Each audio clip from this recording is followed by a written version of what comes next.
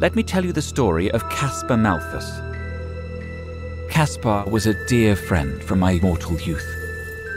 I hoped that he would choose to take the Malthus family in a new direction. Unfortunately, working conditions worsened. I need a mortal to help my old friend find redemption.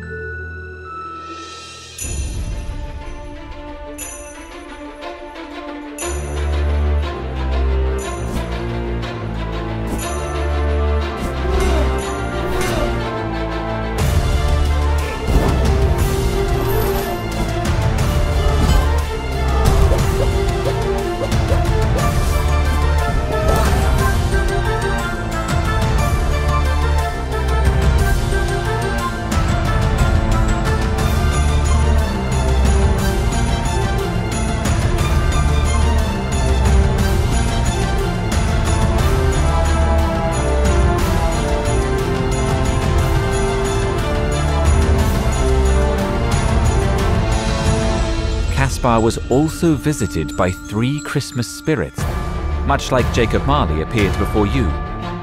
What I did not foresee, a dark spirit emerged from the shadows